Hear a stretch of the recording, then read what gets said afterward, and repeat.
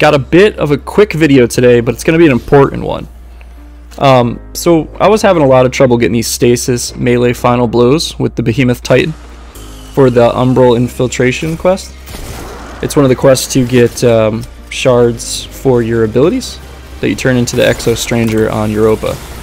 But anyway, so here you can see me doing it properly. I was using the regular melee with a stasis class. That was not working. Let's just punch stuff, I said, but that was not working.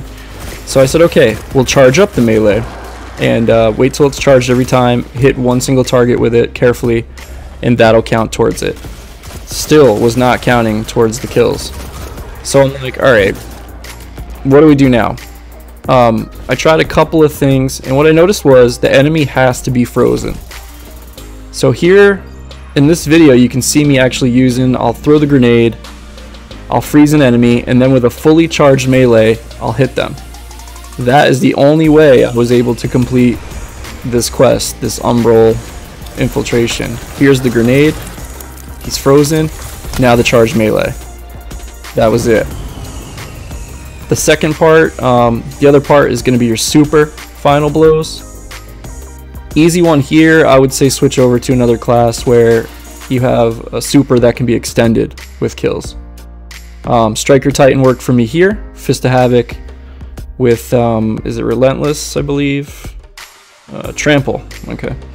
So every time you get a kill, it'll keep the super going. That'll make it easier to get the kills and to finish the quest.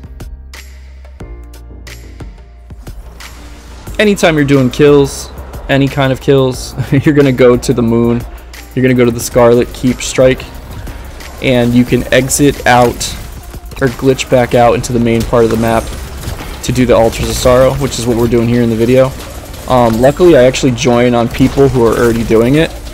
These guys were already just doing the farm and getting their kills, getting their strike kills for whatever reason.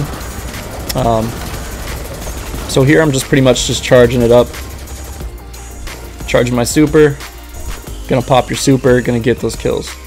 It's a lot easier than messing around with the, the stasis, you know, freeze and smash Titan ability.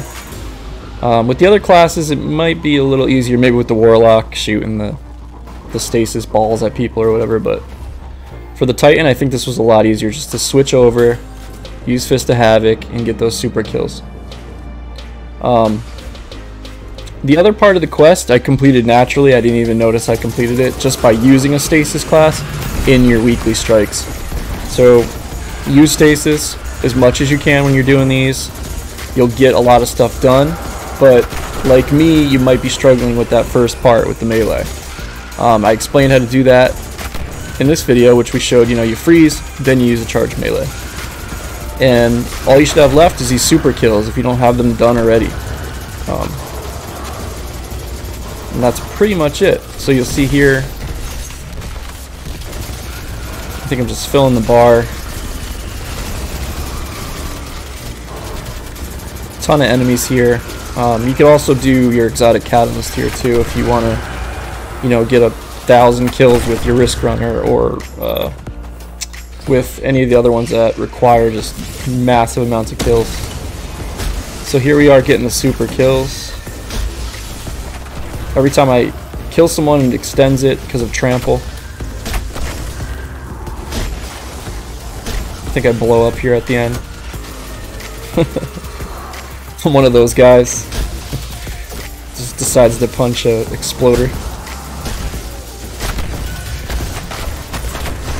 Yep, okay, so there, yeah, I blew up. But anyway, I was able to get a good solid, I think 10 super kills there. And here I am finishing it.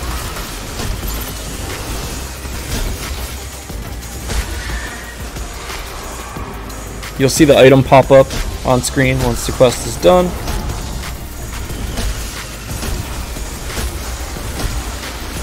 There you go. So what is it? Yeah, it's a memory fragment.